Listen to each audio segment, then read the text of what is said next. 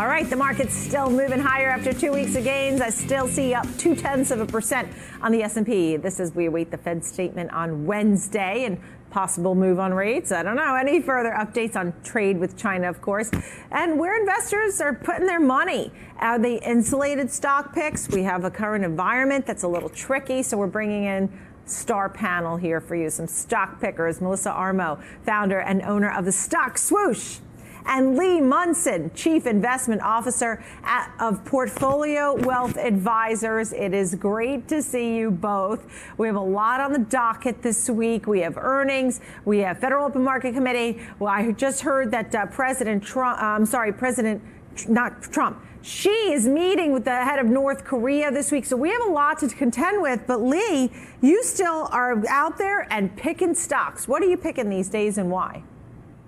Well, you know, I'm trying to look at stuff that's part of the vegan food wave. You know, I'm a vegan, right? So I only eat stuff that's made of plants.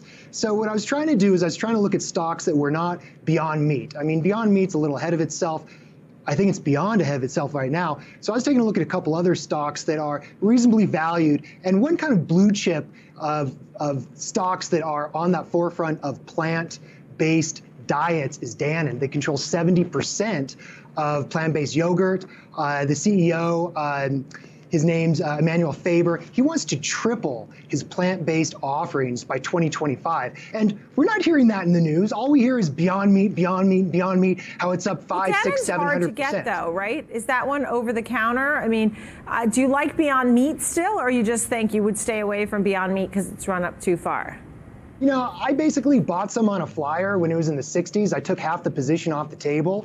Uh, it's completely speculative. It's not really the type of stock that I buy for clients. But I think if you want to speculate in Beyond Meat, I think you got to wait till it goes under 100 that could be a single day on a downgrade. But, you know, in the 60s, in the 80s, I think you're looking at a company that has a real possibility of going from 2% controlling the plant-based burger market to maybe 10 to 20% over the next few years. But, you know, it's like a dot-com right, so stock. Hold on. Yeah, hold the thought, Lee, because you know what? Melissa actually likes Beyond Meat. Um, I know Tyson has gotten in there, Nestle has gotten in there. Um, Impossible Burgers had its own set of headlines, such as uh, the demand is exponential, and both of these companies can't seem to keep their products out. So you like this one, Melissa? Yeah, definitely. I mean, it's interesting because right before the earnings, the stock was around 99, jumped up 30 points overnight, which was really only about a week and a half ago. And then from the Friday until the Monday, the stock had one of the biggest moves actually I've seen all year. I think the only thing that rivals the move that Beyond Meat had in, right after that earnings was really Disney, which was the news back in April, but I will tell you that the stock ran from 99 for on Thursday night into Monday up to 186. So I definitely think that stock can go back to the high. The stock had some kind of analyst came out at JP Morgan Chase and said it was neutral then, and the stock gapped down a couple of days ago, and now it's right back around on top of the high from that day. So the stock is rallying. It's over or got up to 169. I, I left the house to see. I don't know if it got over 170, but it is not that far off the previous high.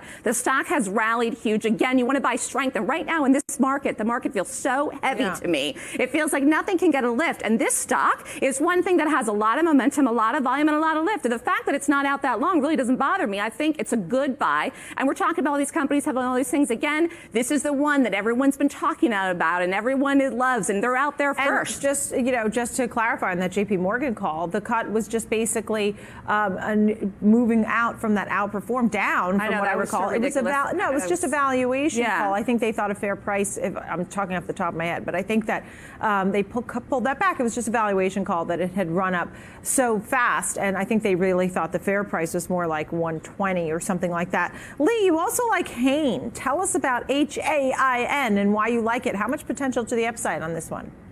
Well, it's already done tremendously well up over you know double digits this year. This is Celestial Seasonings. Now, a lot of people don't understand what this stock is. They think they make tea, but a few years back, the CEO that actually got booted out last year went on this acquisition spree, buying everything healthy, natural, and they just were this conglomeration, this roll up. So the stock took a big hit. It was down about 50% over the prior five years. And then last year, they got in this guy, Mark Schiller, who took over as CEO.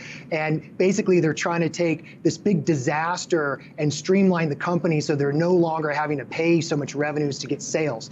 So if you're into the Beyond Meat and you're into the plant-based stuff and you want to make a bet on a broken company that got too bloated and now is on the mend, I think this is your value play. This is not the momentum play. This is not the buy high right. and hope somebody will buy it higher. But if you're looking for something with a reasonable valuation, with a new management team that has all the ingredients to make a streamlined company, all they need to do is cut and harmonize and get their act together. I think you could see a lot of upside to this stock. But again, yeah. this Sounds is different. Sounds like a grower. Than, we'll wait. Yeah, yeah, it's a value play, and I think it's worthwhile, especially with a market that has higher and higher valuations.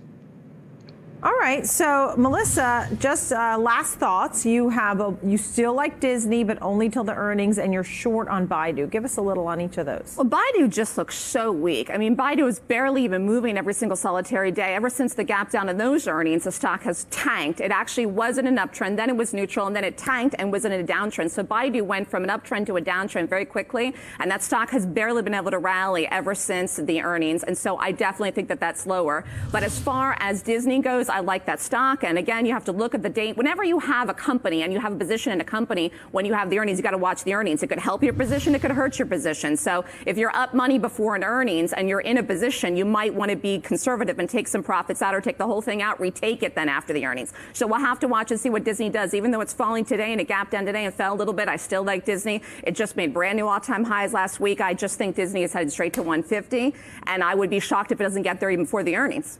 All right, Lee Mullinson, Chief Investment Officer of Portfolio Wealth Advisor, and Melissa, Melissa Armo, founder and owner of Stock Swoosh. It is great to see you both. Thanks for having Thanks, me. guys. Thanks, Lee. I know you're far away. Thanks. Up next, an inside look at Amazon's new credit builder.